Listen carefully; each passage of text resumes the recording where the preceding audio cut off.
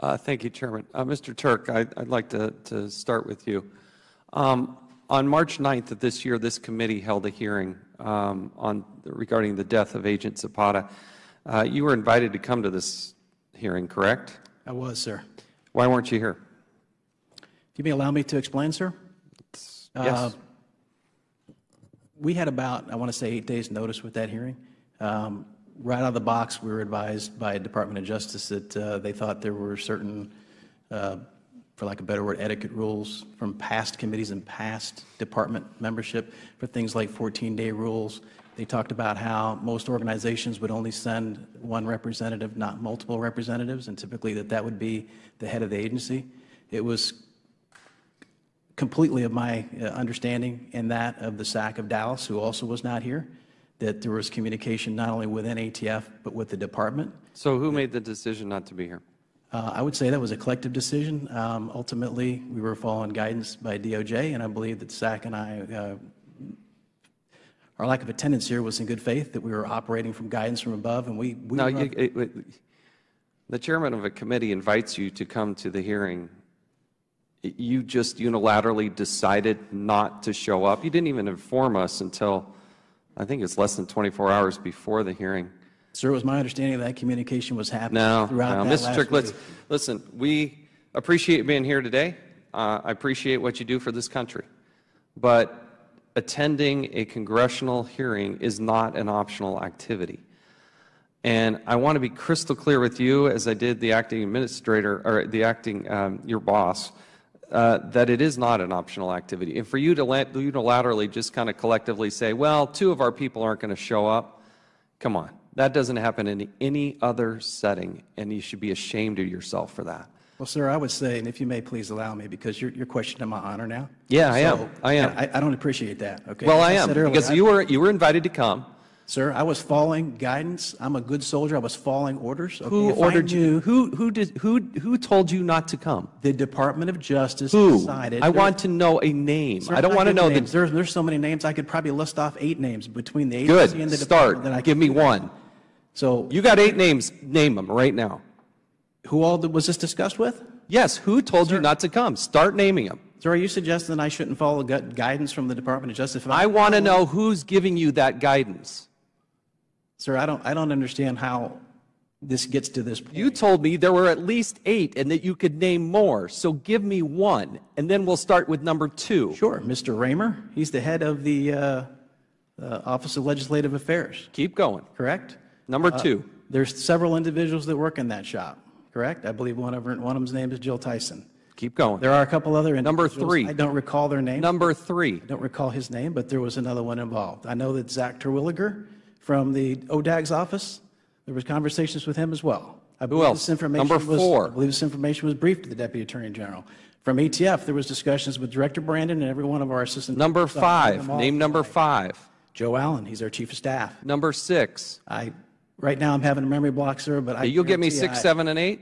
I guarantee I give you more names than that, sir. But you know, I don't. I don't when? understand. When will you give me those names? Point. I'll give those names as soon as I can recall, sir, and I'm sure my staff can help me with that. Give me but a as date. I said give earlier, me a date. Give I, me a date when you're going to give me those names, sir. I would never ever have dishonored this committee, or myself, or the agency, and failed to appear if I thought for a minute that this would have ever happened.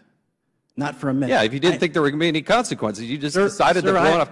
I have, listen, I have, briefed, I have briefed your staff I have offered three times to meet with you. We want you to brief the members of Congress. Sir, I offered to meet with you personally on this matter the day after that, that hearing took place. I've met with. I don't. No, no, no, no, no, no. We do this in the open, in the public, so all members of Congress. It's nice that you say you're going to brief staff. I'm happy we want to you. Answer hold that on. Right now. Hold on. We want you to brief members of Congress. I'm doing that not right behind now, closed doors either. You were invited here for a purpose. Now, I appreciate you giving me those names. Sir, I, I came here. I, I came here as a good, honorable person. And you, you, you admitted that you challenged my honor. I do not appreciate that. I operated in good faith. I had operated in good faith. You didn't show up. I was, sir. I was told that it was an invitation, as Director Brandon explained. I did not know that that was not optional. I would have happily, I would have happily gone against Department of Justice guidelines and been here that day. I've even discussed it with Inspector General Horowitz. Everyone that I've ever talked to about this understands precisely what happened that day. Yet you want to get your 15 seconds of YouTube minute time to challenge my, my honor. You know, that night, sir, I had to call my sister. My sister and my brother worked for ICE. It was portrayed that I failed to testify You did. before, before That's hearing. the fact. did not fail, sir. I was That is the guide- fact. You failed to testify. guidance. I was following guidance. I would never dishonor In fact, Mr. Brandon, agent that way. Never. Mr. This is what Mr. Brandon said. Well, the decision is theirs voluntarily. To let you know, Mr. Chairman, I did not order them not to be here, and no one that I know of from the department ordered them not to be here. Is that correct or incorrect? Sir, it's my understanding that that was the first time he was ever made aware of that morning. I think he got caught off guard, and I believe you had some words with Is him that right before the hearing started. I it's not know- completely accurate, no. It, so what Mr. Brandon testified to what is he not said accurate. was, well, it is true to the extent, no, I was not ordered not to come. No one needed to order me, sir. I, all I need to be is told I don't need direct orders. I didn't need your subpoena. If I would have known I needed to be here, I would have been here. That's why you were invited to come testify. Was it your voluntary de- decision to do it or not do it? No, sir, I was following guidance. Okay. I, I'm, uh, to the members of this committee, it's stunning that we have to take sit now six minutes to go through this. Uh, Stunning to me that you're challenging my entire career, sir, over a thing that's quite obvious. to me didn't challenge your entire career. I Yes, started off by sir. You saying we appreciate everything you do. Sir, you- but when you- you're, you- no, you hold on. my honor. Wh- When I'm asking you a question, you're going to listen, okay? It, I thanked you for your service to this country. You've done innumerable things that we can't even name here throughout a, a long and distinguished career. That's why you're in a senior position. But when you are invited to Congress, it is not an optional activity. You can't separate my honor from what I do for my career and my life, sir, to, sir, to your scenario that you're trying to point out. They're one and the same, sir. They are one and the same. Okay, well, I'm not here to disparage your entire career based on one incident. I'm here to say that that one incident was a really, really bad decision. And we're tired of people saying, well, I'll brief staff or I'll talk to you privately. When we're trying to do it in the open light of day, we have very valuable time and lots of important things to deal with here. That's why when you are invited to Congress, you're expected to show up. Now, if I have to issue you subpoenas to do so, then we will do that. And we appreciate you being here today. But we shouldn't have to go through that. I I shouldn't have to go to the U.S. Marshals to go deliver you a thing.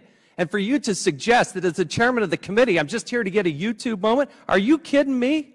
Sir, I can assure you in the future. You don't that- think that the, the, the value that we're trying to do on these, these cases is of value to the American people. When you hide value. information, when you hide information, you don't provide it to the United States Congress, you're having massive problems, and we can't get the answers to the questions that we have. There's a reason why I do have to issue the subpoenas. And these two agencies, DEA and ATF, I love the men and women who do this. But the management, I got a serious problem with. That's why you're getting a gentleman C from the inspector general. That's why we're doing these types of hearings, is because you do need to be held accountable. And when you're invited to Congress, you don't sit around and have a group and say, well, it's probably best in our best interest not to show up. We act in the best interest of the American people, and you don't respect that. That's why you didn't show up. Sir, I do respect that tremendously, and I can assure you that in the future, regardless of what guidance I'm given from the Department of Justice, I will be very responsive to this committee. I can guarantee you that. Whether Then it's we me in person understand each other. Or other. whether it's records.